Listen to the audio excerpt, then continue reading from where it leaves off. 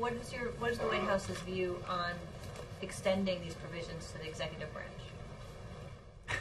I understand that there's been a furtive, I mean, not a furtive, that's the wrong word, a, a very public, uh, although humorous attempt by some on, uh, on, among the House Republicans to uh, suggest that that's an issue when the absolute fact uh, is that uh, there are far more uh, stringent uh, rules and restrictions on the executive branch already in place.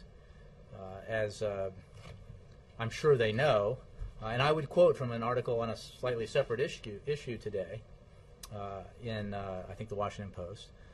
Public Citizen Government, Public Citizen, as you know, is a government watchdog group. Craig Holman said, "quote The executive branch has far strict, stricter ethics standards than Congress does, and Congress has set these standards. The executive branch can't steer contracts or work to businesses where family members work. They can't even own stock in industries that they oversee, unlike Congress.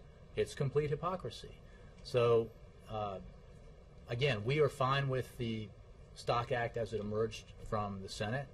We certainly look forward to the House uh, taking action uh, as it sh- appropriately should on this bipartisan measure, and, and, and the President will sign it into law.